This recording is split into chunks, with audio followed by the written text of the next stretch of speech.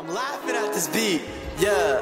Hey. I take this shit from the highest Here comes the party! No, I ain't never been to college, but I got that flow that come right out of Ivy League. She wasn't religious, but she came to kick it, and now she be telling me I believe. I got a vision, they catch a precision, I'm driven as far as the eyes can see.